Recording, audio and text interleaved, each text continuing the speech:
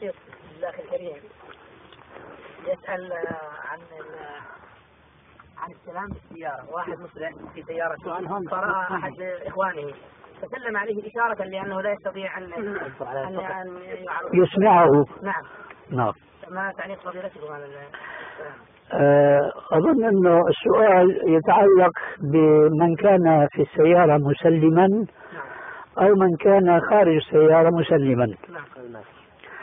الجواب أن السلام لابد منه.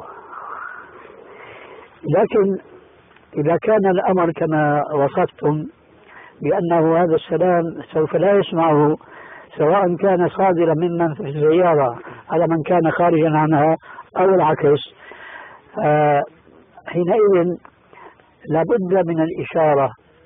لكن لا يجوز الاقتصار على الإشارة دون عبارة. ويجب أن يجمع بين الأمرين. أن يقول السلام عليكم ويرفع يده مشيرا إليهم. أما إيش فائدة من هذا الكلام؟ علما أو من هذه الإشارة. وعليكم السلام ورحمة الله وبركاته. ويجب الحقيقة أن نذكر بأمر الناس عنه غافلون. يجب أن نعتبر سلام المسلم على أخيه المسلم. ولو كان غير مسموع يجب أن نعتبره ذكرا لله عز وجل. هذا الذكر الذي لا يعرفه أهل الذكر. نعم نعم. لا هذه صحيحة. هذه صحيحة بس هذيك مو صحيحة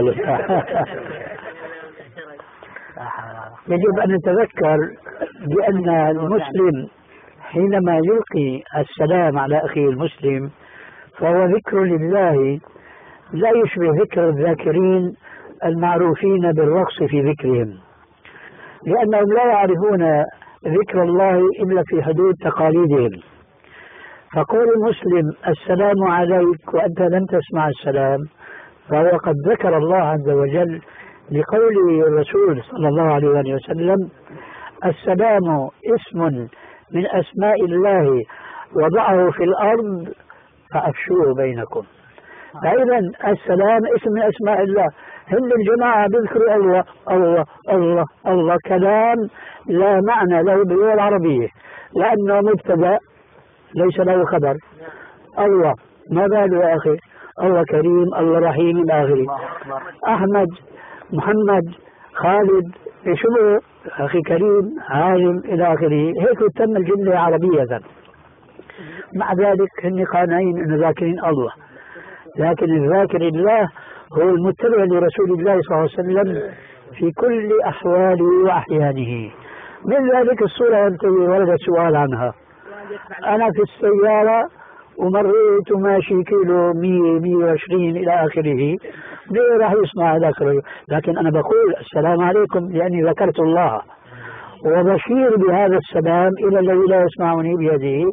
أو بالعكس ذاك يسلم عليه ويشير بيده.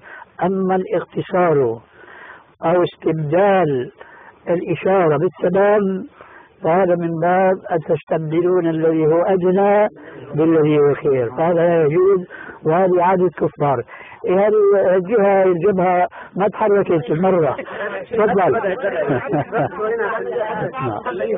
اسمع يا أخوان؟ نعم. أحدهم طرح السلام كتابي طرح سلاما على المسلم. فرد عليه المسلم.